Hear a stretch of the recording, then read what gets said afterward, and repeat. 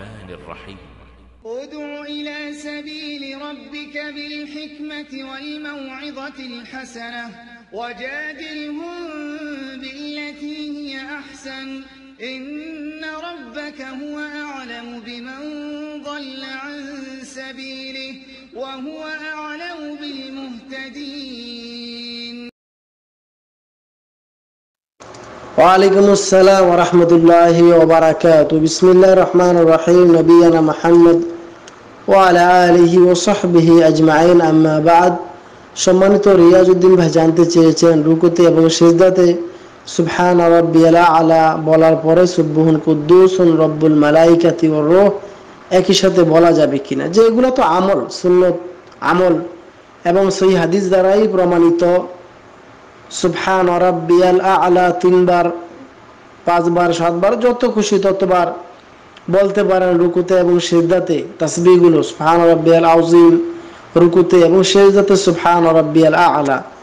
তারপরে সুবহুন কুদ্দুসুন রব্বুল মালাইকাতি ওয়ার রূহ সুবহানাকা আল্লাহুম্মা রাব্বানা ওয়া বিহামদিকা আল্লাহুম্মা ইগফিরলি তারপরে আরও দোয়া করতে পারেন ربنا آتنا في الدنيا حسنة وفي الآخرة حسنة وقنا عذاب النار এই যে রব্বানা আতিনা এই দোয়া পড়লেন এই দোয়ার মাধ্যমে আপনি আল্লাহ রব্বুল আলমের কাছে দুনিয়ার সমস্ত কল্যাণ চাইলেন এবং পরকালের সমস্ত কল্যাণ চাইলেন ওকিনা আজাবান্নার এবং জাহান নামের আগুন থেকে আল্লাহ রব্বুল আলমের কাছে মুক্ত চাইলেন অতএব সেজদাতে, রুকুতে বেশি বেশি আপনারা দোয়া করতে পারেন।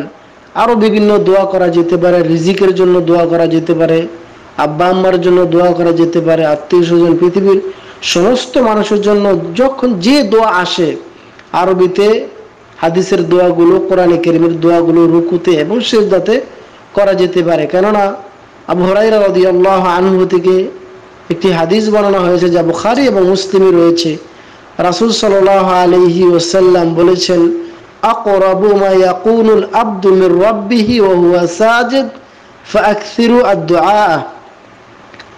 রাসূল বলেছেন, আল্লাহ রাব্বুল আলামিন বান্দার খুবই নিকটে আসেন, যখন এবং আল্লাহ রাব্বুল আলামিনের কাজ খুবই নিকটে পৌঁছে যান, যখন কি হয়? বান্দারা সেজদা করে, আকরাবু মায়া ইয়াকুনুল আব্দু মির রবের খুবই নিকটবর্তী হয়ে যায়, আর যখন কি করে? তখন বান্দা সেজদা করে। আকরাবুমা ইয়াকুল আব্দুল রব্বিহি সাজিদ। যখন বান্দা সেজদা করে, অতএব এই অবস্থায় আকফিরু দোয়া বেশি বেশি আল্লাহর কাছে দোয়া করার কথা হাদিসে আসছে।